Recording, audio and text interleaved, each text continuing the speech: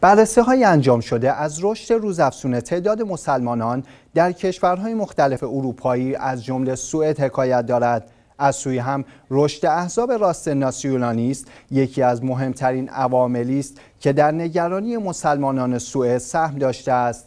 همکار عملی اکبری گزارش می‌دهد. نتایج انتخابات اخیر سوئد که صحنه اوجگیری احزاب راستگرا بود نگرانی مسلمانان این کشور را نسبت به سرنوشت خود در این کشور دوچندان کرده است. در انتخابات پارلمانی سوئد که 11 سپتامبر گذشته برگزار شد بلوک مورد حمایت حزب راست افراطی یعنی دموکرات های سوئد به پیروزی رسید تا بتواند دولت جدید این کشور را تشکیل دهد. بسیاری بر این باورند که سوئد دیگر همانند گذشته یک کشور کسرتگرا و حامی مهاجرت و حقوق بشر نیست و نتایج انتخابات نشان دهنده تغییرات مکرر هر ساله است.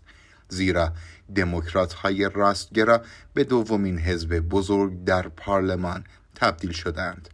در پرتو این وضعیت ناظران بر این باورند که پدیده نجات پرستی و نفرت به بخشی اساسی در زندگی مهاجران به ویژه مسلمانان تبدیل شده است.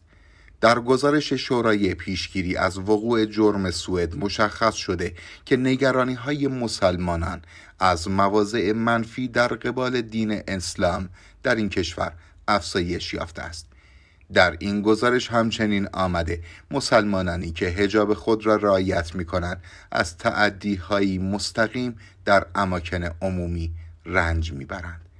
بر اساس داده های منتشر شده تعداد مسلمانان در سوئد در پایان دهه 80 از 150 هزار نفر به بیش از 800 هزار نفر در سالهای اخیر افزایش یافته که این عدد شامل 190 هزار سوری 170 هزار عراقی و صدها هزار نفر دیگر از مسلمانان افغانستان، فلسطین، ایران، بوسنی، چچن، ترکیه و دیگر کشورها نیز می شود.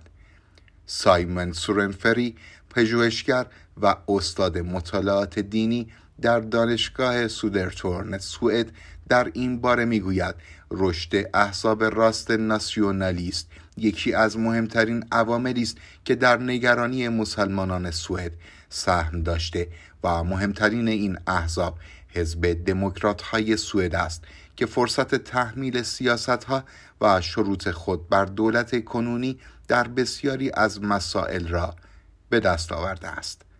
علی اکبری اخبار شیعه.